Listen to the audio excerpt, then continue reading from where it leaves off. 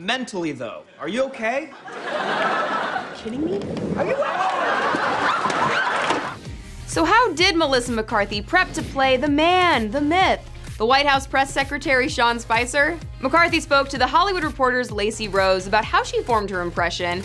I just threw caution to the wind and was like, I'm not gonna try to mimic too much. There's so much irritation coming through his body. I'll just capture that. And then the hair and makeup team put on a half bald cap, eye bags, and the thing that really sells it, these prosthetics they put behind my ears. It turns out the motorized podium was all her idea, and as far as Lorne Michaels' advice for her take on Spicy goes, he didn't have much. McCarthy said, I never really wanted to be mean spirited, but it didn't feel mean to me, and I was like, is this crazy? Are we gonna pull it off? And Lorne seemed to be just fine with it.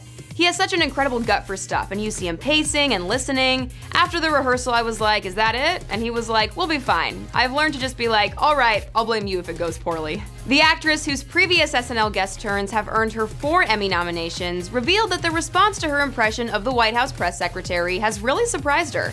According to McCarthy, people have stopped me and they're like, Thank you, that was important to me. I'd say it's just me doing my shtick, and they're like, No, I needed it. I don't think they're talking about what I'm doing so much as what the show is doing, which is giving a sense of relief at a time when a lot of people feel disappointed and depressed about where we are.